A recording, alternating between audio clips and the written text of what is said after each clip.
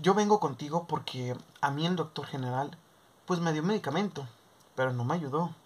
Al contrario, me estuvo me estuvo causando cosas que yo no quería que, me causara de alguna manera. Déjenme decirles que, que todo lo que sea medicina certificada científicamente, porque hay algo que no dicen, que la homeopatía en Francia está evaluada por más, si no me equivoco, de 20 estudios de científica donde demuestran que la homeopatía funciona. Me dicen, vengo contigo, doctor, porque no me sirvió, no me sirvió lo que me dio el médico general y la verdad es que me irritan las cosas que me da él y todo este tipo de detalles. Entonces, y yo vengo y, tomo la homeopatía y la homeopatía me cura, doctor, me cura.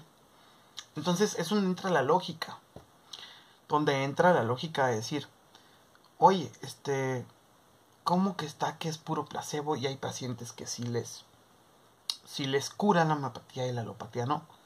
¿Ok? Las patologías, las enfermedades. Sencillo, señores. No nos hagamos, no nos demos mil vueltas. Este, aquí la cuestión es la siguiente y se las voy a explicar. Las dos medicinas curan. Una es más lenta que la otra, porque una es natural entonces, señores, ¿cuál es el problema aquí? Este, que entonces es el médico, es el médico el que no está haciendo bien su trabajo, no está diagnosticando bien al paciente. ¿Por qué, señores?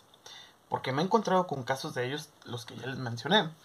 Y dices tú, ok, ¿por qué es el médico? Porque no le diagnosticó bien a la persona, le dio algo que no le debió haber dado. Pasa en viceversa también con la homeopatía. No, que me sirve más la farmacología que la homeopatía.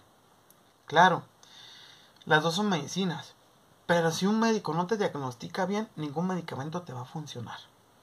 Ahora, señores, no nos confundamos.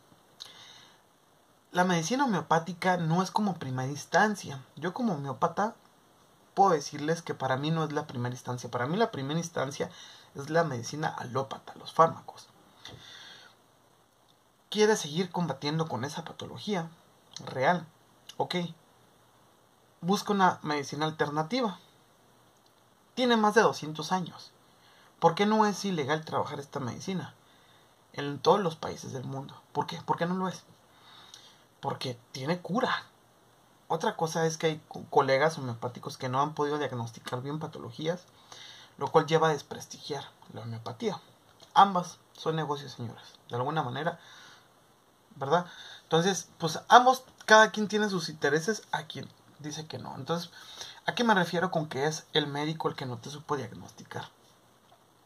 Me refiero a que, pues, si hay personas que no les sirve la homeopatía, hay personas que no les sirve la farmacología. Entonces, ¿quién, ¿quién está mal? ¿El medicamento o el médico? El médico que no te supo diagnosticar, porque si te haya sabido diagnosticar, pues te da el beneficio. Entonces, ¿por qué dicen, ah, me funcionó la homeopatía, no la farmacología? Porque fue el tipo, fue el médico, fue el médico el que, el que te hizo el diagnóstico y por eso te funcionó. Bueno, ese